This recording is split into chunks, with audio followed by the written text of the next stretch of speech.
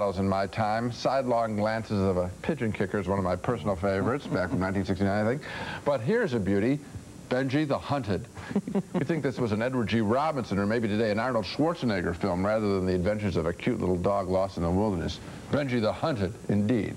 Actually, the best parts of the story are when Benji isn't hunted by man nor beast, but when he's left to care for four cougar cubs, whose mother is brutally shot and killed, I might add, in the beginning of the picture.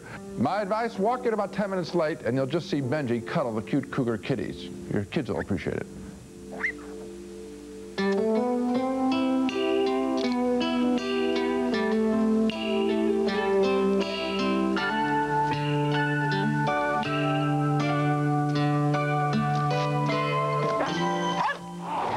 Rest of the picture is a chase film, mostly, with Benji on the run first from a wolf. There's Benji battling a bear, and then there's Benji battling a cougar. The cougar, trying to protect its own cub, basically sees Benji as lunch. I wish there had been more, oh, aren't they cute shots like this one of the kitties crossing a creek.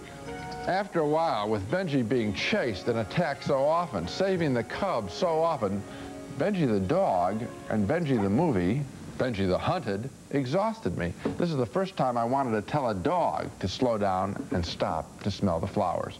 I can't recommend Benji the Hunted.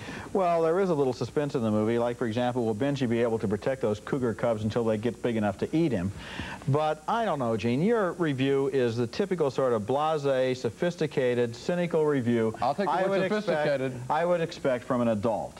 This movie is not for adults. This movie is for children. I can remember what it was like to be six years old, eight years old, to see a movie that's 90 minutes long, only has about 100 words of dialogue. It's about a dog in yeah. the wilderness, beautiful photography, yeah, those cute yeah. little cougar cubs, which you mentioned, the magnificence of the other animals, Roger. the adventures, the, the little kittens You're, crossing the stream, the very shot you pointed Roger. out. This movie is a movie that kids would really enjoy. No, they'd really you know what they should say? Roger, my re uh, re rebuttal of this film is you're wrapping yourself in, in the flag of children, and I'm saying go see the Black Stallion instead. There's a film with little dialogue, so much better. On. I'm not wrapping myself in the flag of children. You're wrapping yourself in the flag of the sophisticated film no, critic boredom. who's seen it all. No, boredom. Boredom with I Benji don't think that any child is going to be bored by this movie, and indeed, I found the nature of photography to be very interesting myself. I recommend film for kids that are good. The Black Stallion is a great film. This is Oh, well, garbage. I recommend films for kids that are bad, but I'll tell you what, whether it's good or bad, I think kids will really enjoy. Even on Benji the Hunted, Gene didn't even like the title. Mm. I thought it was ideal for its target audience.